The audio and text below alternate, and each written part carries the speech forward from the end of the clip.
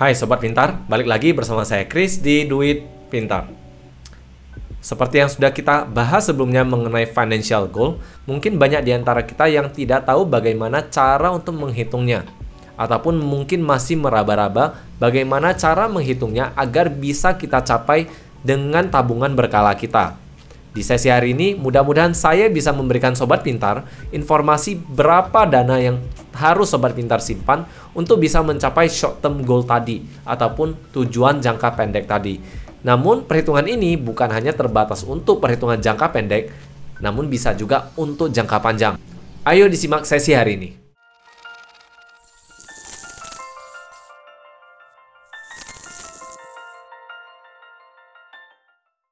Seperti yang sudah pernah saya bahas dengan Sobat Pintar di sesi-sesi sebelumnya, bahwa ada banyak sekali tujuan keuangan yang bisa kita capai, baik dari jangka pendek maupun jangka panjang.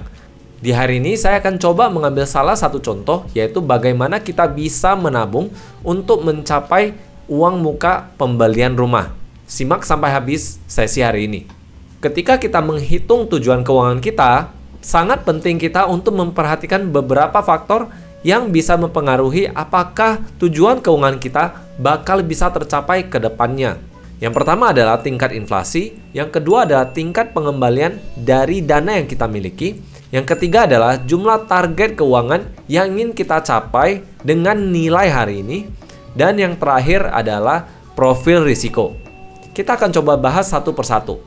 Menurut Investopedia, inflasi adalah kenaikan harga barang dan jasa yang sudah terpilih yang terjadi pada periode tertentu. Biasanya sih diukur dalam waktu 6 bulan. Adanya kenaikan harga ini menyebabkan banyak sekali target keuangan kita ataupun tujuan keuangan kita yang juga mengalami kenaikan harganya. Maka sangat penting untuk memperhitungkan kenaikan tersebut.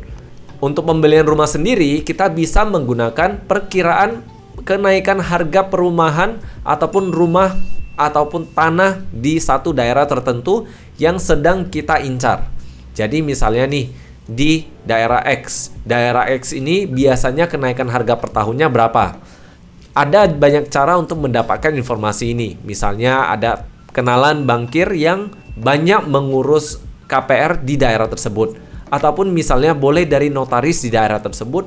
Ataupun boleh dari agen properti yang biasanya berada di daerah tersebut pula. Dengan adanya informasi tersebut, maka kita bisa memasukkannya ke perhitungan ini. Saya akan bagikan kalkulator bagaimana cara memperhitungkan ini di kolom deskripsi. Jadi nanti sobat pintar silakan unduh kalkulatornya yang ada di kolom deskripsi ini.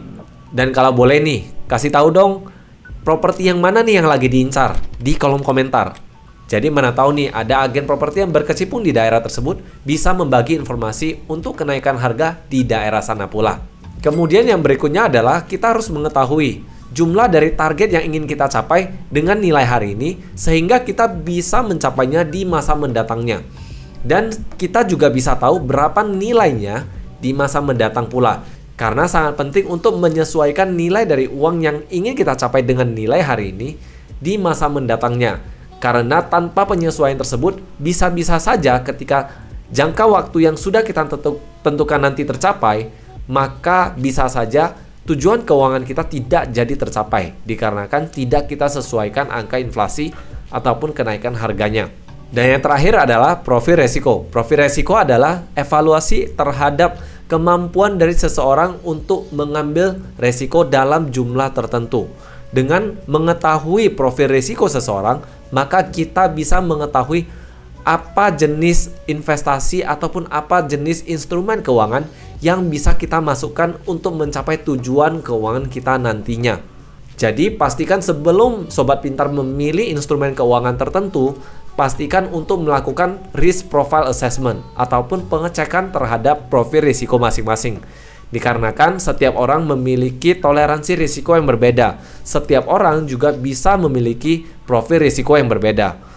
Bahkan yang memiliki profil risiko yang mirip katakan sama-sama memiliki profil risiko yang tinggi, bisa saja jumlah risiko dalam persentase mereka bisa berbeda. Jadi sangat penting untuk mengeceknya dan menanyakan kepada diri sendiri lagi. Kita akan coba membahas mengenai pengelolaan risiko di sesi-sesi yang berikutnya. Jadi pastikan Sobat Pintar sudah klik tombol subscribe dan nyalakan loncengnya supaya tetap mendapatkan informasi dari Duit Pintar. Saya akan coba membahas mengenai profil resiko lebih detailnya di sesi-sesi berikutnya. Mari saya berikan contoh perhitungannya. Jadi contohnya misalnya Sobat Pintar ingin membeli rumah seharga 500 juta. 500 juta ya bisa dibilang di Jakarta agak susah cari sih. Cuman ini saya kasih contoh saja terlebih dahulu. 500 juta contoh untuk rumahnya maka katakan DP 15% atau uang muka 15% 500 juta kali 15% hasilnya 75 juta. Gampangnya kita bulatin deh 20% jadi dapatnya DP nya 100 juta. Dengan DP 100 juta pertanyaan berikutnya adalah berapa rata-rata kenaikan harga rumah di daerah tersebut? Ternyata misalnya katakan kenaikan harga rata-rata di daerah tersebut adalah misalnya 20%. Ataupun misalnya lebih rendah deh, kita katakan ganti 15%. Maka berikutnya kita tanyakan, kalau misalnya kita investasikan uang kita, berapa jumlah imbal hasil ataupun return yang bisa kita harapkan dari instrumen tersebut? Misalnya katakan setiap tahunnya, setiap tahunnya kita bisa mendapatkan sejumlah misalnya 20%. 20% ini bisa dibilang angka yang cukup besar karena rata-rata imbal hasil dari investasi si Warren Buffett hanya sekitar 20,4%. Jadi nggak terlalu besar juga. Dan setelah itu, kita tanyakan kembali berapa lama periodenya.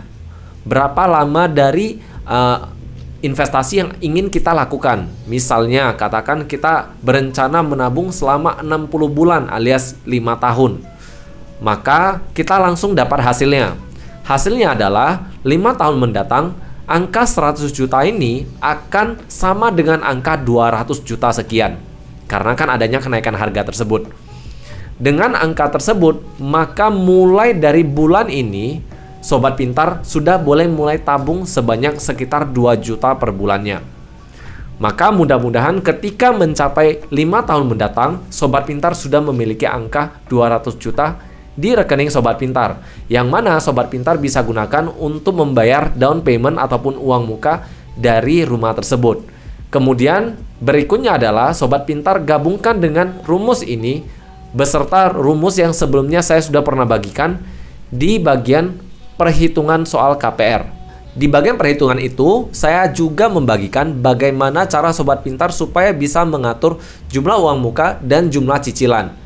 Jadi misalnya setelah kita masukkan nih, sudah dapat cicilan bulanan kita untuk mencapai DP kita sekian. Maka kita harus perhitungan kembali, apakah di lima tahun mendatang penghasilan kita sudah bakal bisa membayarkan jumlah dari cicilan kita tersebut berdasarkan perhitungan kalkulator tadi. Kalau sudah bisa, berarti semuanya sudah aman, tinggal kita nikmati prosesnya. Dengan menikmati prosesnya, mudah-mudahan segala sesuatu yang sobat pintar lakukan menjadi lebih enjoyable dan mudah-mudahan sobat pintar menjadi lebih mudah mencapai tujuan keuangan sobat pintar. Itu saja sesi dari hari ini. Semoga sobat pintar bisa menjadi lebih tercerahkan bagaimana untuk memperhitungkan financial goal ataupun tujuan keuangan sobat pintar. Itu saja dari saya. See you in the next video. Bye-bye.